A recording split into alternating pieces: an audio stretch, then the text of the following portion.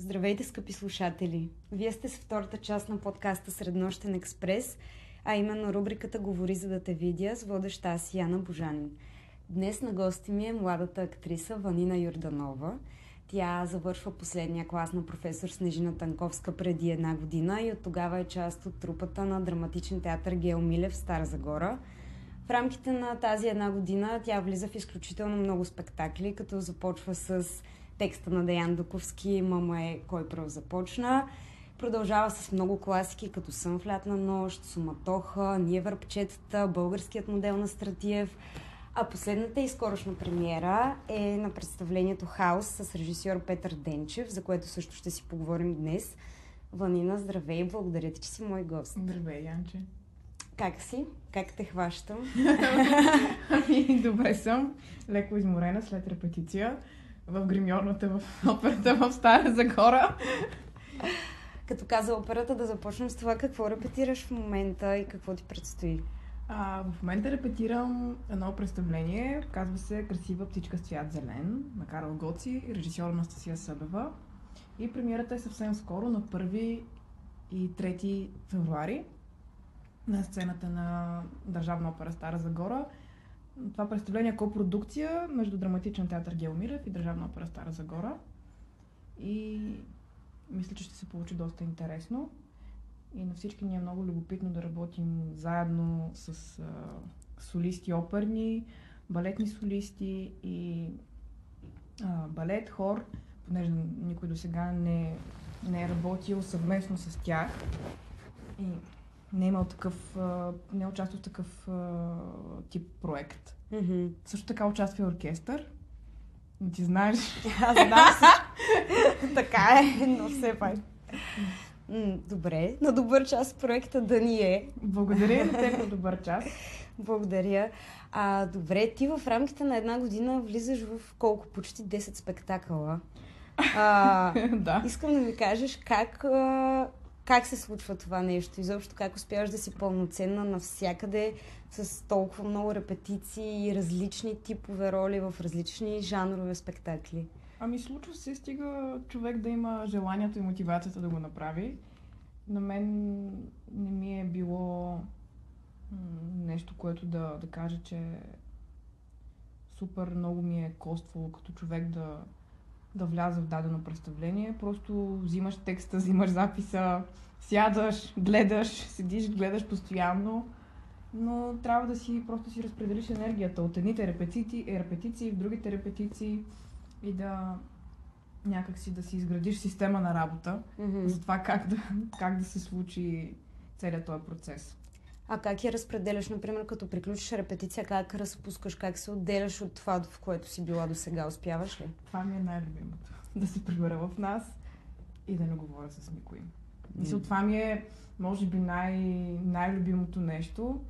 А, първо, че примерно 15-20 минути обичам да си помълча или да, или да си пусна някаква музика и просто да не да се абстрахирам от това, което се случва с мен. Аз много мразя, не знам, не знам дали другите хора, другите актьори го правят, но аз в къщи текст не отварям. Аз не пипам текст, защото мисля трябва да е примерно ако се наложи да преговоря някакъв текст за представление, но докато репетирам нещо, мисля, че репетициите по 9-10 часа на ден са предостатъчни и няма нужда вкъщи да, да се натоварвам излишно с, с текста и с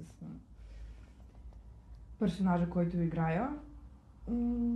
Да, обичам да, да си изготвя нещо, да си пусна някаква музика, някакъв сериал и да легна и да спя. Нали? Добре, този метод на работа и дисциплината, която си изградила, според мен идва и от това, че ти си се занимавала професионално с балет, преди да решиш да кандидатстваш в надфис. Как реши да смениш балета с театъра? Какво намери в театъра, което те запали? Ами, когато бях 9 или 10 клас, аз вече танцувах в а, Държавна опера Варна в балета и майка ми тогава ме заведе едно представление Кавказските Беширен кръг. Режисьор беше Маргарита Младенова. И на мене просто е така, стоях и гледах и не можех да повярвам. Много ми хареса и си казах, по дяволите искам и аз някой ден да, да бъда по този начин на сцената, защото наистина е едно м, изключително красиво, трудно изкуство. Трябва да си много всеотдаен, много постоянен, бих казал даже маниакален в това, което правиш, но някак си на мен не ми достигаше това. Защото аз знаех, че не съм най-добрата балерина. Не съм най... Ня... Никога няма да, да бъда прима. Аз знаех, че ако продължа да се занимавам с това, ще играя в корда балета. Което мен въобще не ме задоволяваше. И, и ти по цял ден правиш, без да обиждам никого, по цял ден правиш едно и също. А, всеки ден отиваш, класически екзерсис, така и така, така и така и така и така. И то в един момент ставаш като кон с капаци. Няма М. нищо друго около теб. Аз смея да кажа, че съм имала едно изключително тъпо тинейджерство. Аз не съм ходила по на дискотеки, купони. Моите приятели си бяха от училище, с които бяхме по цял ден заедно. Вие сте били в такова училище. Да, в музикално училище, Мгм. училище по изкуствата. И съм нямала такива напивания, пушения на цигари. Ти си просто като в един ковьоз, само това те интересува, само това правиш. И в един момент си казах, аз какво правя? В смисъл, защо? Нали? Да, на мен много ми харесва, но искам, искам нещо да надградя над това, което сега правя. Чисто като, като човек, да се насоча в някаква друга посока и си казах, ами айде да кандидатствам в надпис. Тоест не си ходила на школи преди това. Не, въобще не си бях ходила на школи. А, и моя брат тогава още учеше в надпис, режисура при професор Танковска. И нали му казах, ами аз искам да кандидатствам. Той такъв седи и ме гледа въпросително. Ти сигурна ли си? Ами да. И си бях казала, че ако не ме приемат а, на с драматичен театър, на следващата година ще кандидатствам в танцов театър. И за две седмици събрах някакви материали, търсих, четох, намерих, скълъпих положението и брат ми уж ме подготвяше, при което аз примерно му казвам стихотворението си той ми казва, за нищо не става, какво правиш? И аз рева, нали, изпадам в някаква истера, защото няма никакво време, аз вече съм записана за изпита. И искам да казах, сега ще се явя, каквото и да стане, аз отивам.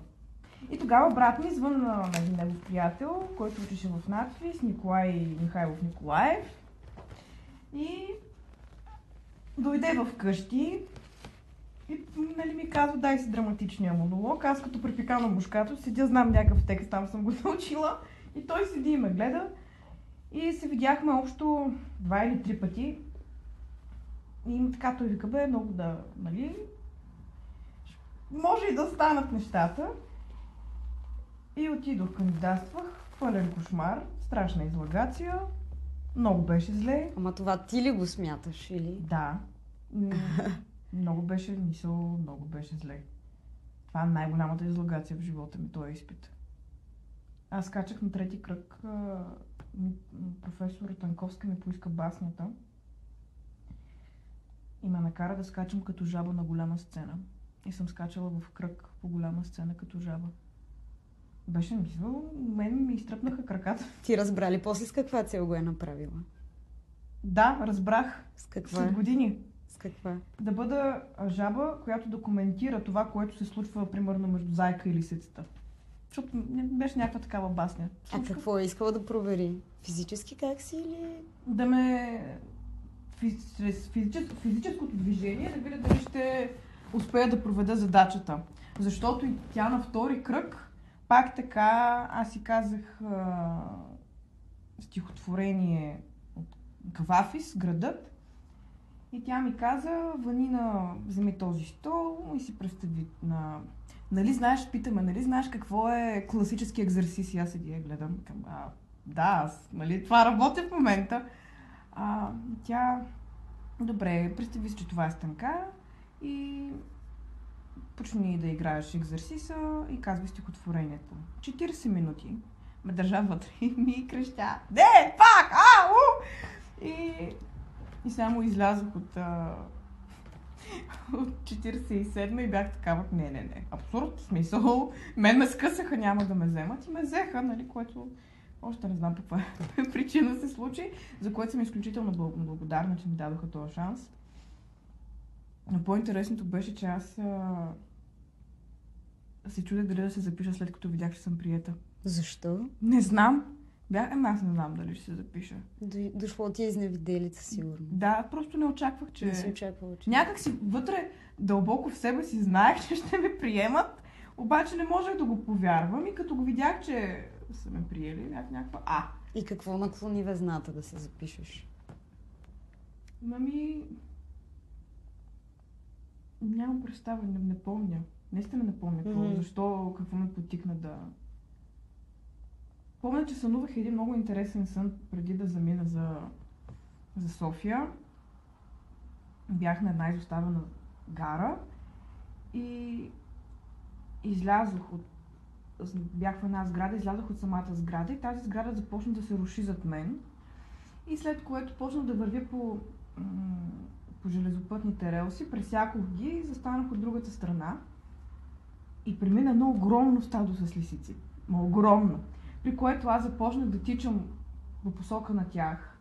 Нали, след тях да тичам по релсите изведнъж се появих на една магистрала, чисто нова, където имаше работници, които строяха.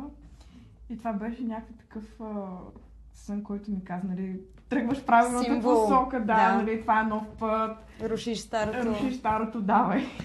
Махай се от всички лисици. Тръгвай напред. Без, нали, да обиждам никой. Да, да, да. да. Ми, това е много хубаво и попадаш в клас, който, за тези, които не знаят, професор Танковска обръщаше много голямо внимание точно на движенческото и да. на това как актьора присъства физически на сцената. Това донеслите плюсове, че имаше повече опит, вероятно, от другите, какво ново добави, какви разлики откри в движенческата култура, която имаше? Ами това, че съм се занимавала с, с танци ми носи и продължава да ми носи много големи плюсове, защото аз много добре знам как да си ситуирам тялото в пространството, което тя много ни учеше и държеше на това. Ние имахме всяка седмица сигурно по 6 часа балет, джаз, танци, не знам си какво.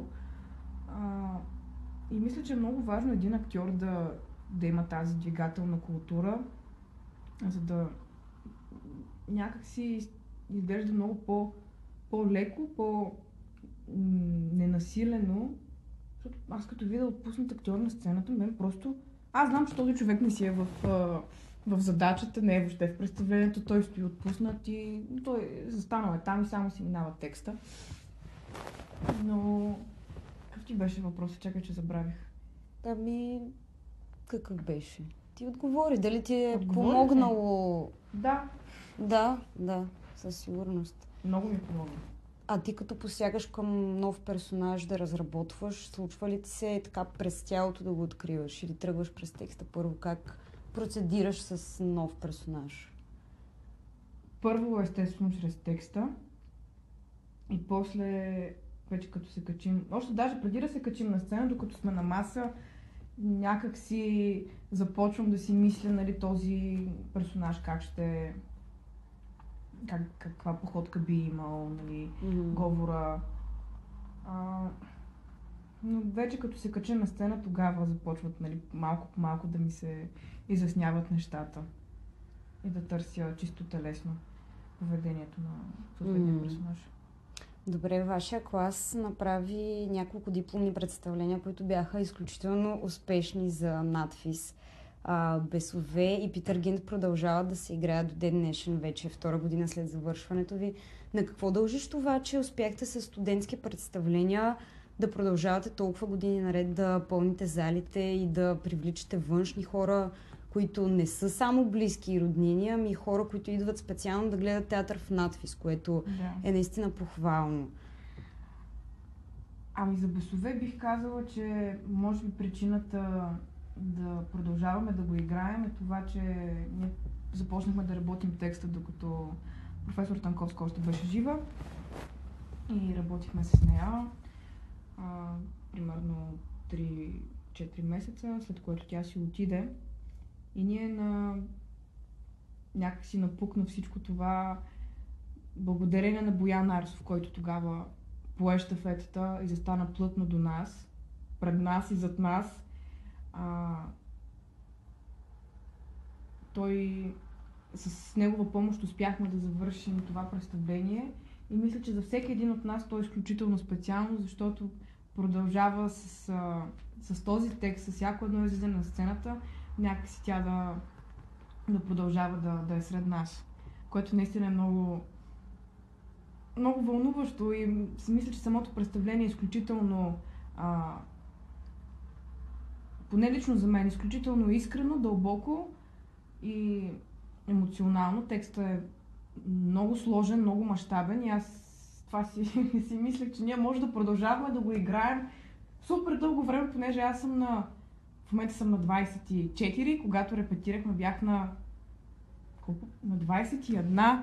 Аз играя Варвара Ставрогина, която е... Да, представлението е по романа Безсвена да, Достоевски. Да, на Достоевски, драматизацията на Камю.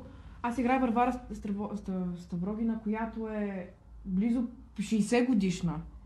Но това няма абсолютно никакво значение. Това, което ти ми каза за... ме пита, нали, за чисто кога намирам движението, как ми помага. Примерно там аз не мога да изиграя, че съм на 60. Но чисто гесто са маниера, който ще имам, поведението, което ще вложа в персонажа, защото то е аз в поставените обстоятелства. Аз не се преправям, че съм някой друг. Но това е една от причините, според мен, да... Да, и предполагам, играйки го вече четвърти сезон, Да. ако не се лъжа, си откриваш още неща. Още много и... неща, да. И със сигурност И- с времето би го задълбочила. Да, това е може би една от причините, поради която харесвам повече театъра от киното. Мгм. Да, а, че от ден едно, когато почнеш да четеш пиесата, от първата репетиция на маса, до последното представление ти продължаваш да намираш и да търсиш нови неща и това продължава да живее. Това представление, примерно е час и половина. В дадения ден, в дадения час и половина то заживява по съвсем различен начин, от който, примерно, след а, месец или М. след два. И е много, много по за мен лично много по-интересно и по-вълнуващо. Да. А Питър Гинт... Питър Гинт е много забавен текст, много също така философски настроен, ако може така да го погледнем. Мгм. И мисля, че хората по някакъв начин, понеже пише с голяма лекота, Питър как преминава през всяко едно премеждие, среща някакви тролове, краварки и хората а, поднесено по този начин успяват да хем да проумеят това, което се, се случва в, в техния живот. Ето, в последното представление Боян беше такъв в началото трябва да започнете ударно, нали, да кажете, ето това е нашата история и може в някой от вас да е този Питър Гин. Ти ли си, ти ли си, ти ли си. Това е много, много забавно, защото ти наистина можеш да преоткриеш Питър в себе си по абсолютно Мгм. всеки един начин. Точно като казваш това за преоткриването, ще те пратя към последното представление, което направихте в Стара Загора, именно Хаос. Да. Интересно ми е там да ни разкажеш малко повече за самия ключ, защото това представление виждаме 6 жени, които са облечени абсолютно еднакво, с еднакви перуки, в едно такова леко абстрактно пространство. И всяка една от тях е изключително различна, с силен характер, ярък персонаж, а пък са абсолютно унифицирани като външен вид. Мгм. Това беше ли заложено в пиесата или заедно с режисьора Петър Денчев стигнахте до това решение? Това не е заложено в пиесата. А, те още в самото начало, мисля, че с стенографа Петър Митев са стигнали до това м- решение, понеже ние на първа репетиция видяхме макета, видяхме, костюмите не ги бяхме видели малко по-късно, но това беше много хубаво, защото за първи път ми се случи ние три седмици да репетираме с декор, две седмици да репетираме с, пъл, с пълен костюм. Да, Което- това е изключителен лукс. Изключителен лукс. И мисля, че се случва толкова рядко, за което искам да поздравя просто Петър Денчев и Петър Митев за тая мисля жестока работа. Имахме музика, Христо Намли- Намлиев беше готов с музиката още в самото начало. Имахме абсолютно всичко. Работихме през цялото време. ми, сигурно на третата седмица, след като почнахме репетиции, вече работихме с хедсетове. И това беше наистина за мен лично показно как, как трябва да функционира театъра. По какъв начин. Не, ама сега тук а, нямаме реквизита, представи си го, че ще го играеш така. Ми не, извинявай, аз не мога да си представя, че тук имам примерно една табуретка, пък то да няма табуретка, трябва да седне на земята. Във въздуха. Във въздуха или да... Мисля, не може да... Да... Нали, ти до един момент може да си работиш във, с въображението, но то после се изчерпва и няма какво на къде да градиш, докато не... Мгм. докато не видиш какво се случва. Това е твой втори проект с Петър Денчев, защото той ви е правил едно от дипломните представления. Как, Да. е, как беше да работиш с него отново вече на професионална сцена? По-лесно ли се сработихте, когато имаше опити и говорихте на един език? Ами аз мисля, че докато работихме Емилия Галоти в надпис, нямах... А, мисля, па, разбирахме се, но ми беше много странно да работя с него, защото до сега бях... Аз бях работила с други режисьори, бях работила, нали, а, с класа на Маргарита Младенова, не- нейния клас режисьори, които са, нали, тогава бяха студенти. А, бях работила малко и с самата Маргарита Младенова, с друг нейн студент, който беше завършил, но някакси с Петър ми беше много странно.